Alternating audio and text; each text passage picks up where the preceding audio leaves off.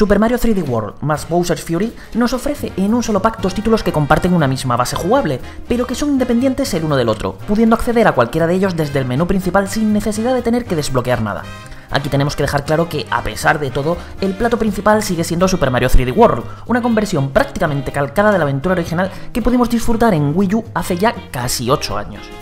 Lejos de ser algo negativo, esto significa que tenemos ante nosotros un auténtico juegazo de plataformas 3D en el que debemos superar una serie de niveles lineales con el único objetivo de llegar hasta el banderín de meta. Evidentemente, también hay coleccionables que recoger durante las fases y algunos retos adicionales, pero su planteamiento no podría ser más clásico y tradicional.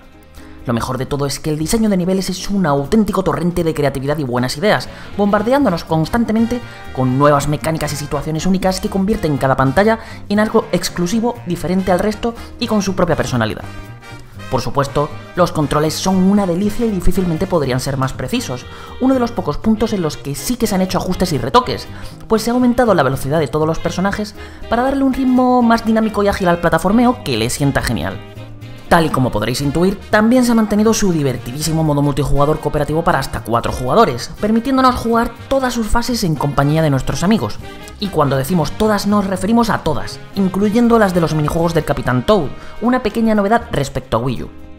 Eso sí, lo más importante aquí es que por fin se ha incluido la posibilidad de jugar online, ya sea con nuestros amigos o con desconocidos, algo que veníamos reclamando desde hace muchos años en los juegos de plataformas de Nintendo. La buena noticia es que el código de red parece funcionar relativamente bien, y en nuestro caso hemos podido compartir aventuras a través de internet durante varias horas sin apenas problemas o incidencias. La otra novedad que nos queda por comentar la tenemos en su modo foto, aunque nos ha parecido demasiado limitado en comparación a lo que estamos acostumbrados a ver en otros juegos.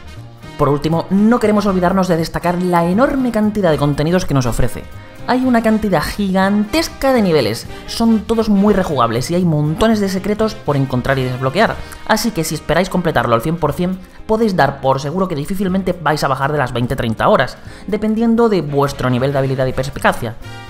Finalmente, llegamos a la que es la novedad estrella de este relanzamiento, Bowser's Fury, su nueva campaña. En vez de apostar por crear más niveles al estilo de Super Mario 3D World, el equipo de desarrollo de Nintendo ha querido innovar y hacer algo distinto, transportándonos de lleno a un mapa de mundo abierto que recuerda inevitablemente a lo que hemos visto en juegos como Super Mario Odyssey o Super Mario Sunshine. Como podréis intuir por esta descripción, nuestro objetivo será recolectar soles felinos mientras exploramos un gigantesco archipiélago repleto de islas en las que nos esperan montones de retos. Evidentemente, aunque la exploración cobre muchísima importancia, aquí las plataformas siguen siendo las grandes protagonistas, dejándonos para el recuerdo una combinación de elementos y géneros que funciona con la precisión de un reloj. Tal y como era de esperar, a nivel jugable recicla los controles, enemigos, trajes, potenciadores y las mecánicas de Super Mario 3D World, aunque todo se adapta genial a este nuevo tipo de entorno en el que podemos mover la cámara con total libertad, convirtiendo el mapa en una especie de campo de juego en el que nos lo pasaremos en grande yendo de un sitio a otro, saltando por todos lados e investigando hasta su último rincón. Sin embargo, la desarrolladora no ha querido perder la oportunidad de innovar y probar nuevas ideas, motivo por el que de forma periódica un gigantesco y enfurecido Bowser despertará de su letargo y comenzará a atacarnos sin piedad, independientemente del sitio en el que nos encontremos. Cuando esto ocurre, el cielo se oscurece y aparecen nuevas estructuras que podemos usar en nuestro favor para llegar a ciertos sitios y cubrirnos de las ofensivas del malvado rey. Este giro consigue darle un toque de tensión a la aventura muy interesante, impidiendo que nos podamos relajar por completo para que siempre estemos pendientes de Bowser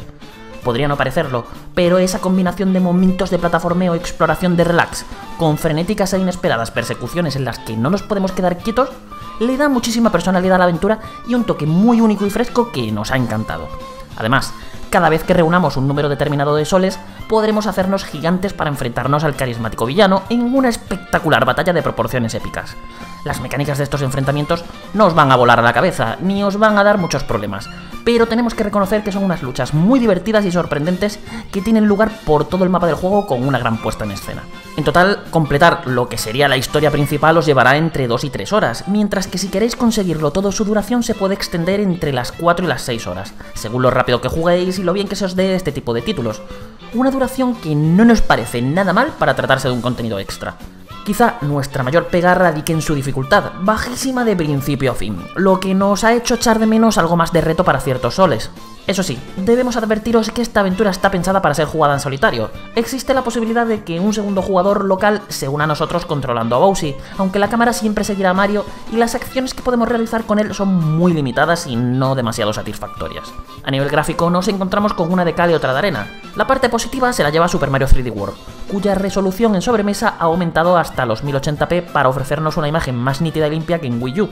Además, mantiene los 60 FPS en todo momento, ya sea jugando en el televisor o en portátil, y las cargas son prácticamente inexistentes. En cambio, Bowser Fury es todo lo contrario, 720p en sobremesa, 60 FPS con algunas caídas y 720p a 30 FPS en portátil con un rendimiento que no llega a ser del todo estable. Sumadle unos dientes de sierra tremendamente molestos y omnipresentes, elementos lejanos que van cargando a medida que nos acercamos y una imagen algo borrosa, y entenderéis la ligera decepción que nos ha resultado su apartado técnico. Lo que sí que no falla es la banda sonora, magnífica, muy animada y variadísima. Bowser Fury reutiliza muchas de las composiciones que escuchamos en 3D World, aunque también aporta unos cuantos temas nuevos que nos han sorprendido por lo cañeros que resultan. Super Mario 3D World más Bowser Fury es un juego de plataformas 3D imprescindible para cualquier amante del género que nos ofrece en un solo pack la mejor versión de una de las aventuras más divertidas de nuestro fontanero favorito, así como una campaña completamente nueva y con su propia entidad con la que nos lo hemos pasado en grande. Además, las pequeñas mejoras que ha recibido la obra original, como su multijugador online, terminan de redondear un título que derrocha calidad, simpatía, creatividad, buenas ideas y, sobre todo, muchísima diversión. Si os lo perdisteis en su momento, no volváis a cometer ese error por segunda vez, y si sois de los que tuvieron la suerte de jugarlo en Wii U, aquí encontraréis la excusa perfecta para redescubrir una de las grandes joyas de la pasada generación.